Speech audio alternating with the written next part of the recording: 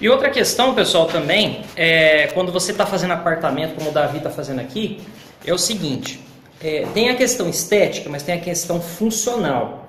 Apartamento, pessoal, tem uma, uma, uma questão muito séria com impermeabilização. Então, tanto o chão do banheiro como o chão da cozinha, eu vou mostrar para vocês aqui, ó, a cozinha. Esse, esse, esse aqui é a cozinha, pessoal. Davi também fez a cozinha, certo?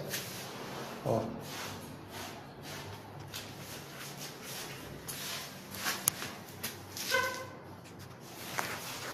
Qual que é a moral da história?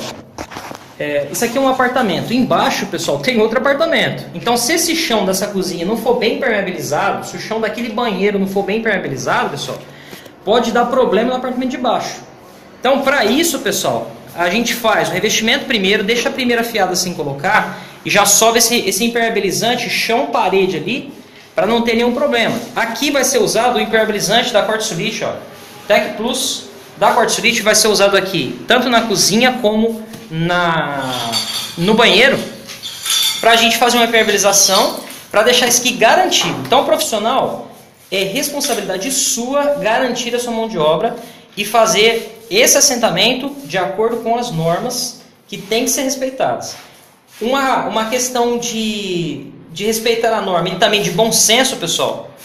Impermeabilização, toma muito cuidado em impermeabilização. Esses cantinhos assim, ó, nos encontros da parede, dá uma caprichada mesmo, para não ter nenhum problema no apartamento de baixo.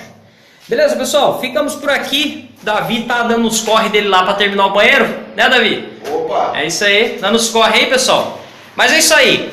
Continue acompanhando a gente aqui, pessoal, no nosso, tanto no meu canal como no canal do Davi. Vou deixar o canal do Davi aqui embaixo para vocês se inscreverem lá também.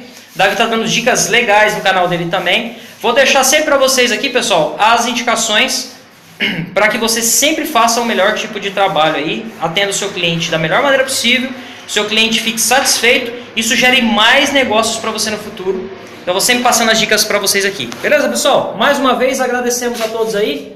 Curtam esse vídeo, compartilhem, deixem seus comentários, novos comentários sobre a nova matéria. Valeu, galera, um abraço, fui!